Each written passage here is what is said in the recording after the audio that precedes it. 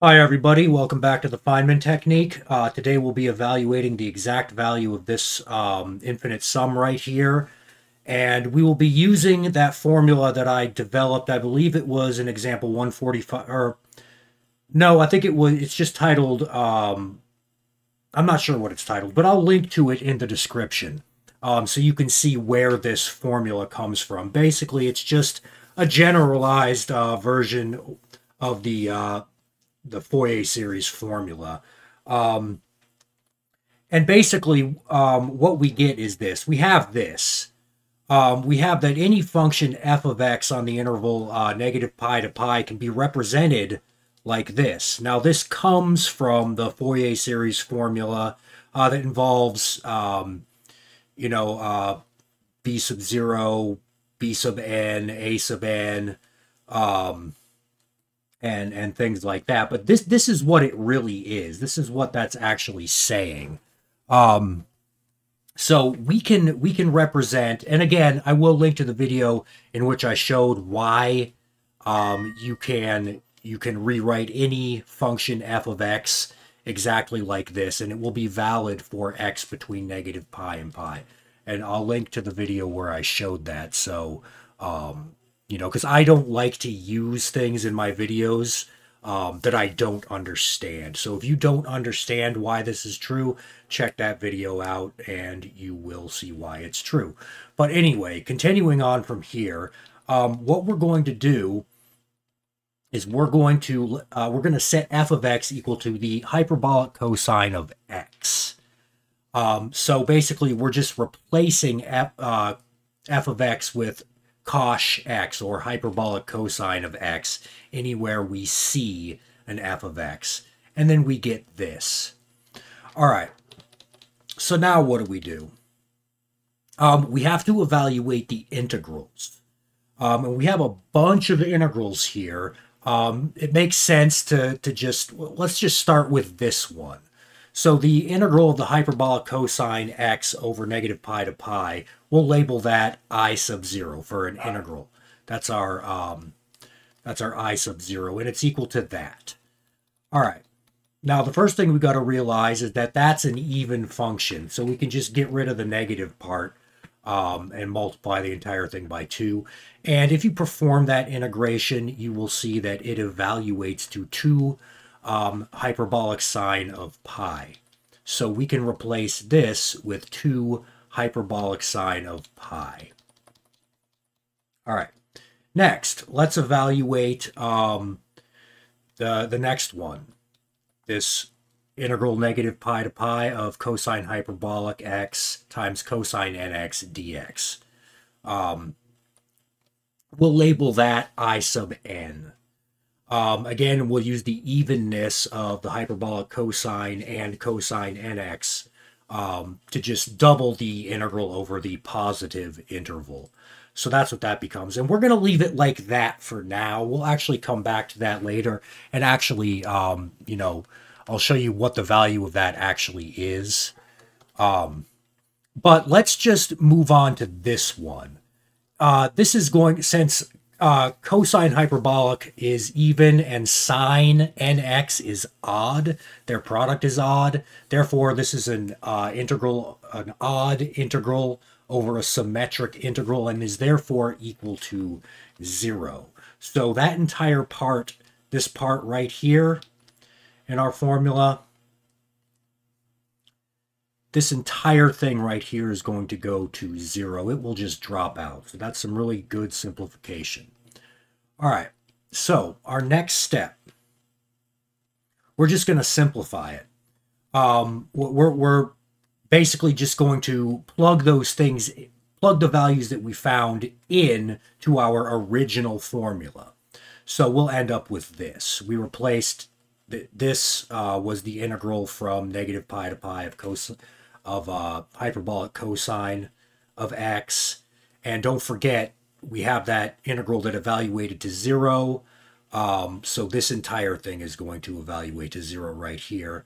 And then we have just this sum going from 1 to pi of the sum from n equals 1 to infinity of cosine nx times our i sub n, which we need to figure out.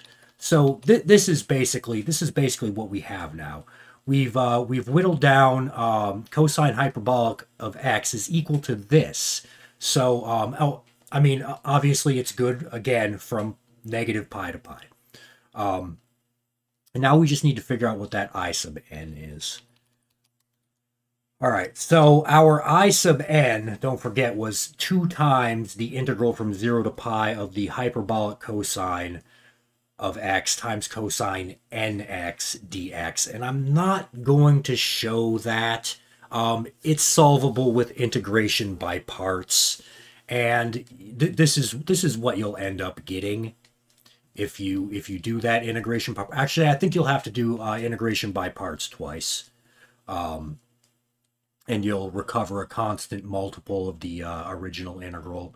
And you, you can, using techniques from Calculus 1, just standard integration techniques, um, you can you can get this or some version of this, something that will simply this or something that is equivalent to this. It, it's a totally solvable integral, so I don't want to go over um, how to actually do that. It's it's not it's it's difficult, it's involved, but like I said, it can be done with standard uh, integration techniques.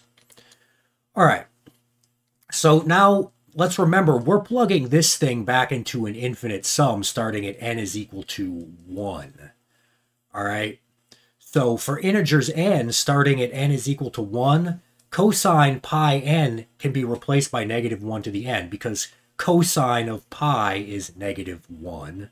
Cosine of 2 pi is 1. Cosine of 3 pi is negative 1. So it just goes like that. And for sine uh, pi n, that's just going to be equal to 0. So again, we have some nice cancellations.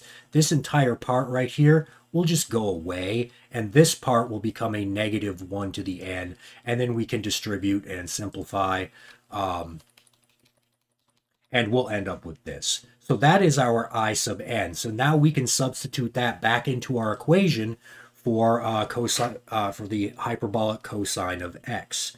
So that is what we'll do.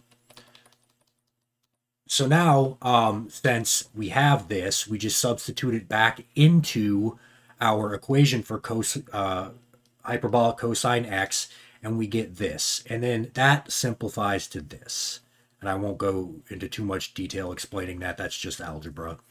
Um, you know, there, there's nothing there's nothing complicated there. All right, so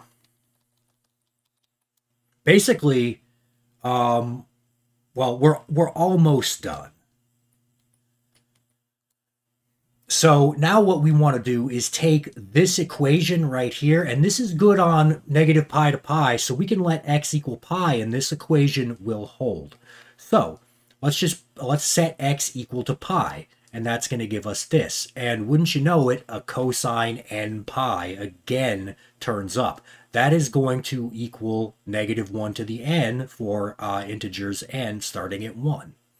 That negative 1 to the n will be multiplied by this negative 1 to the n, and it's just this it's going to cancel out and just become a 1. So we are now left with this cos uh, cosh of or co the hyperbolic cosine of pi is equal to this. All right. Now this was the sum we were we were trying to, to find out, right? So we basically have it. Now it's just it's just doing some algebra. It's just isolating that sum. So we'll label that sum S. And then we get this. And, you know, go ahead and follow this if you'd like. It's, it's laid out pretty clearly.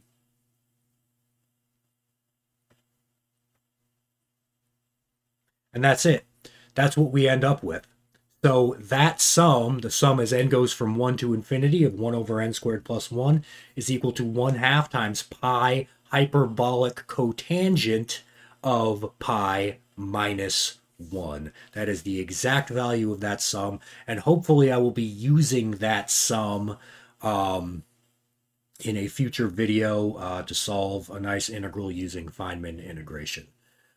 All right, guys, I hope you enjoyed that video, and we'll see you next time.